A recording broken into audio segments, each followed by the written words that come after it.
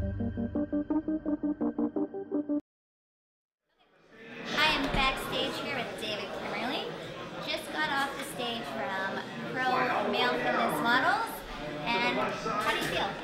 I feel good. Um, we reached our potential. We tried as hard as we could. We got on the stage with amazing physiques, amazing personalities, and guys that are edified a thousand different ways through stage, through publications, through uh, just being good people.